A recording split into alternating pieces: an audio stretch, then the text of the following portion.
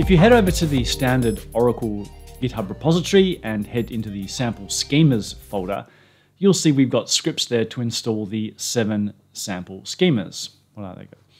Human resources, order entry, product management, PM, SH sales history, BI, business intelligence, customer orders, oh, inventory management. It's an IX schema and XML DBs in there as well. If you're a dinosaur like myself, you'll remember that the sample schemas used to be distributed on the CD or the tape, or you could actually get it via the Oracle installer. It would actually be encompassed as part of the installation package. By changing this to being a GitHub repository, it means we could update it as people wanted to make changes, we could add to it, etc., without having to wait to cut a new CD as it used to be, or have a brand new release of the Oracle database or the Oracle installation files. But that gives us a bit of a dilemma. If you're a long term customer, you'll be familiar with how the scripts used to be packaged and distributed on the CD, and there's a very good chance that customers may have built infrastructure, scripts, automation around that there was a particular way they were installed, a particular way they were laid out, etc.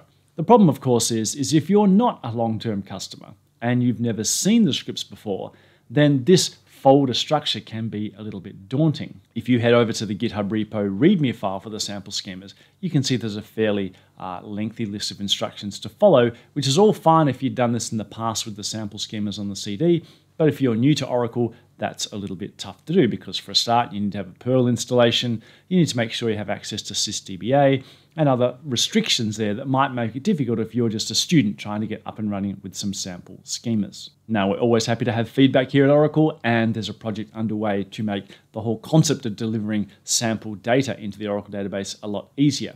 But in the interim, I wanted to do something that would make the installation of the existing sample schema scripts much easier for the novice. So rather than have to run Perl scripts, rather than have to go and come up with a particular folder structure, what I did was went into each of the scripts and built a consolidated single script that you could run. Now, the three most common sample schemas I see out in the wild, so to speak, are the HR schema, the SH schema for more analytics, and our new customer order schema because it has some JSON facilities inside it, which, let's face it, JSON's all the rage.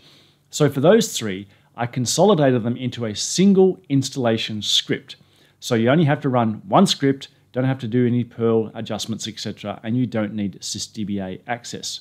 Also, to make it easier, I put a whole lot of preliminary checks in place so it'll go through and make sure that your environment is correctly set up to make sure that the scripts have the absolute best chance of succeeding with the very first run.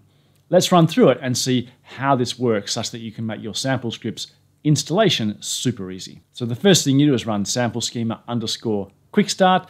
And the first thing it'll do is make sure you're connected okay and give you a little bit of guidance if you're running Express Edition and you've never connected before to hopefully give you at least a fighting chance of getting connected to your database. Then we'll make sure that we can spool output to a file because we need that in terms of creating log files. And we'll make sure we're connected to a pluggable database because for those people that are new to Oracle, it can be hard to discern between a container and a pluggable. So we're going to try guide you, make sure you're on the right database to be installing this onto. And if you're connected as a DBA, it's going to drop the entire schema. If you're connected as the schema itself, you've already had the HR schema, for example, installed before, it's just going to drop the relevant relevant objects. Now it checks all the privileges are required if you're installing this as a DBA, plus that the table space you want to use exists. And we come up with a password that you should note down because that'll be the password you'll use once the installation has completed. And then off we go. We literally go through all the bits and pieces, and at the end of it, we give you a little summary to make sure that everything worked out okay, and the job is done.